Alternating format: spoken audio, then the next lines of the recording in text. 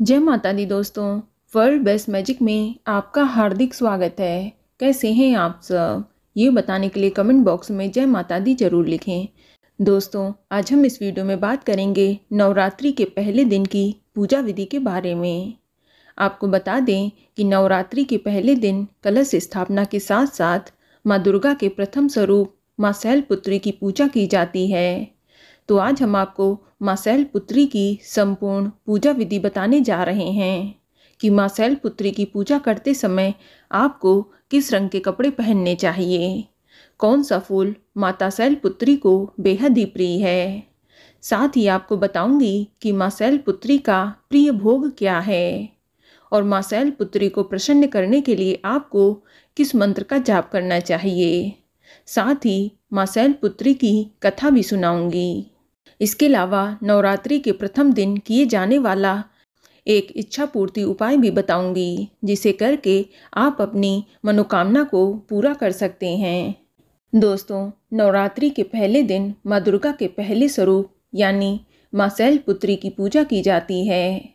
माँ शैलपुत्री को स्नेह करुणा और ममता का स्वरूप माना जाता है। माँ शैलपुत्री की विधि विधान से पूजा अर्चना करने से मनोवांछित फल की प्राप्ति होती है और जीवन के सभी संकटों से मुक्ति मिलती है।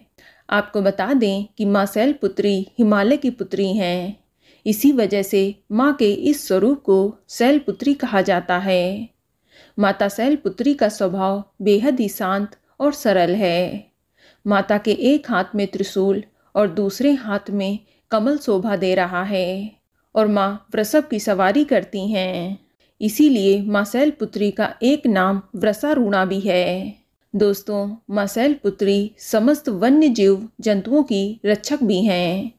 माता शैलपुत्री ने घोर तपस्या करके ही भगवान शिव को प्रसन्न किया था। शैलपुत्री के अधीन वे समस्त भक्तगण आते हैं, जो योग, साधना, तप और अनुष्ठान के लिए पर्वतराज हिमालय की शरण लेते हैं।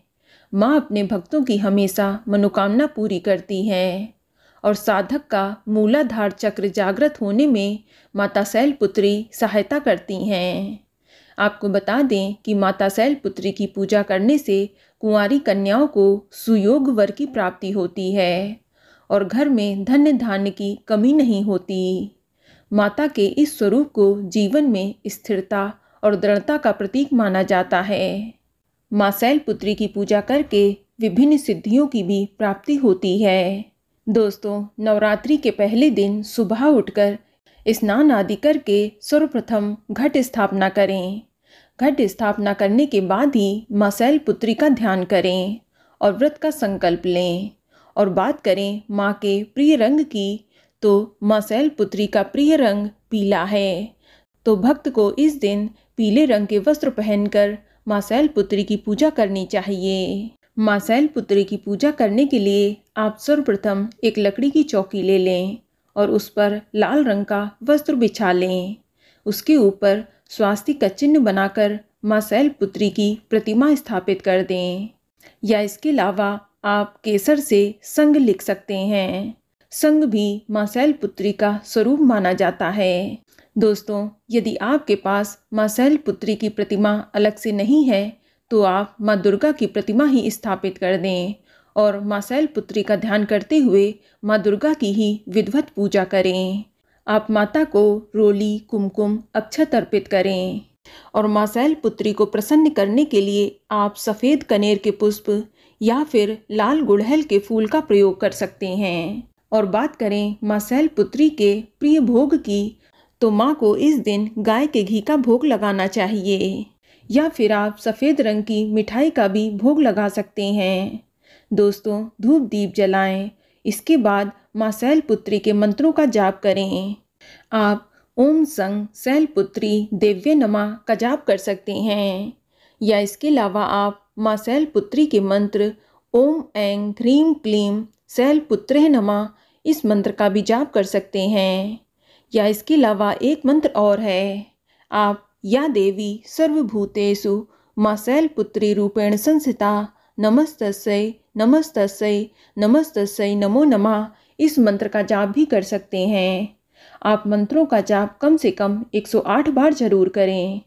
दोस्तों, जितनी ही श्रद्धा और भक्ति के साथ आप माँ का जाप करेंगे माँ उतनी ही जल्दी प्रसन्न होकर आपकी मनोकामना को पूर्ण अवश्य करेंगी।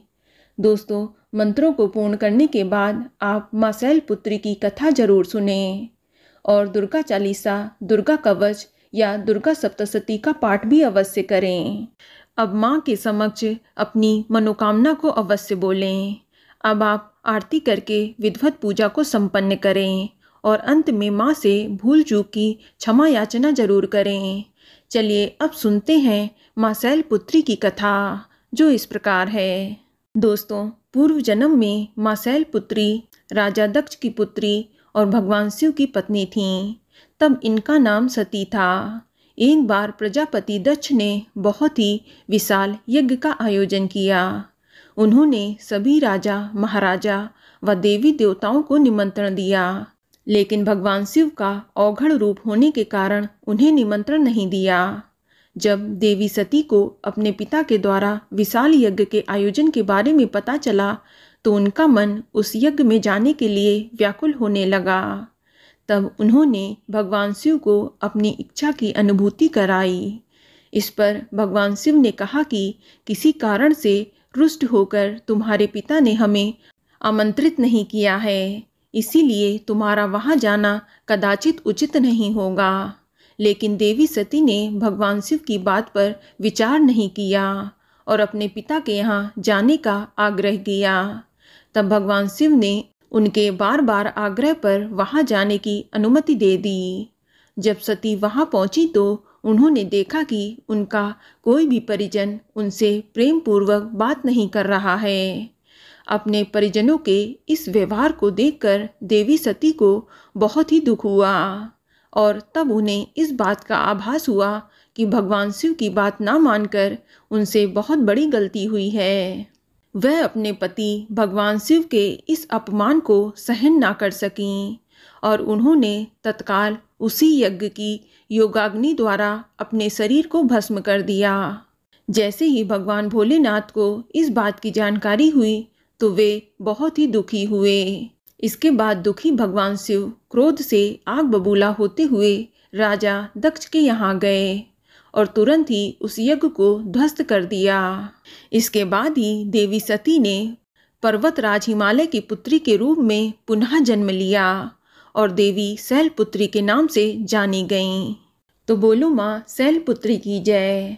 चलिए जानते हैं नवरात्रि के प्रथम दिन किए जाने वाला इच्छा पूर्ति उपाय दोस्तों, नवरात्रि के प्रथम दिन आप माँ शैलपुत्री की विधवत पूजा करें और उनके समक्ष एक शुद्ध घी का दीपक जलाएँ। अब आप एक साबुत पान के पत्ते पर सत्ताईस फूलदार लौंग रख लें इसके बाद आप एक सफ़ेद आसन पर उत्तर दिशा की ओर मुख करके बैठ जाएँ और अब आप ओम सैल पुत्र नमा मंत्र का जाप 108 बार जपें।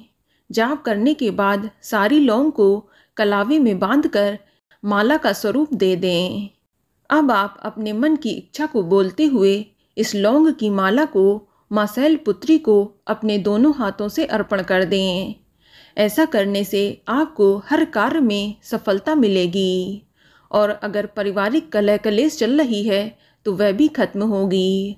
और माँ के समक्ष आपने जो भी मनोकामना रखी है, माँ मासैल पुत्री उसे शीघ्र ही पूरा करेंगी दोस्तों, यदि आपके घर में बहुत ज़्यादा निगेटिव एनर्जी रहती है तो आप माँ शैलपुत्री की पूजा करने के बाद आप शुद्ध घी में एक कपूर का टुकड़ा डुबोकर और उसे जलाएँ। इसके बाद उसका धुआँ आप अपने पूरे घर में दिखाएँ। लेकिन ध्यान रखें कि बाथरूम या टॉयलेट में आप इस धुएँ को ना दिखाएँ। दोस्तों, इस उपाय को करने से आपके घर में पॉजिटिव एनर्जी बनी रहेगी और आपके घर में सदैव सुख, शांति और समृद्धि बनी रहेगी। तो बोलो माँ सैल पुत्री की जय। तो दोस्तों, ये जानकारी आपको अच्छी लगी तो कमेंट में जय माता दी ज़रूर लिखें। और अगर आपका कोई सवाल है तो उसे कमेंट बॉक्स में अवश्य पूछ लें। और इस वीडियो को लाइक करें, शेयर करें और साथ ही साथ चैनल को सब्सक्राइब करें। धन्यवाद।